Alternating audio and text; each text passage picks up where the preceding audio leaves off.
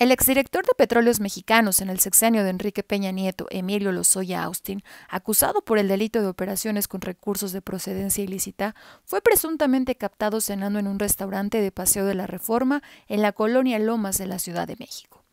Las fotografías fueron publicadas por la periodista del financiero, Lourdes Mendoza, quien fuera señalada por Lozoya Austin de haber recibido una bolsa de la marca Chanel por órdenes del exsecretario de Hacienda y Crédito Público, Luis Videgaray, con el supuesto fin de mantenerla contenta para que publicara opiniones favorables sobre este. Con estas imágenes queda en evidencia el pacto de impunidad entre Emilio Lozoya y la Fiscalía General de la República. Señala a gente inocente mientras él goza de la gran vida a la que está acostumbrado, el colmo del cinismo, con fecha y hora para que no quepa duda alguna acusó en un tuit la columnista del financiero. La publicación de Mendoza viene acompañada con capturas de pantalla que corresponderían al carrete de su celular con fecha y hora del 9 de octubre del 2021 a las 19.57 horas a través de redes sociales, se ha puesto en duda la veracidad de estas fotografías y hasta el momento la Fiscalía no ha emitido ningún comunicado al respecto.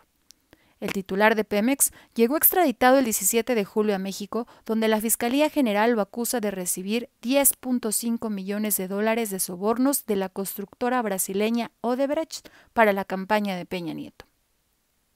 El 28 de julio de 2020, el exfuncionario fue vinculado a proceso por el delito de operaciones con recursos de procedencia ilícita y le fue retirado su pasaporte. Lozoya ha acordado cooperar con los fiscales y actúa como testigo protegido a cambio de posibles reducciones de sentencia o una eliminación de los cargos. Lozoya Austin sigue su proceso penal en libertad, al menos por esa causa. El juez ordenó que se le colocara un brazalete para no mantenerlo en la cárcel, pero la misma Fiscalía General de la República no solicitó prisión preventiva.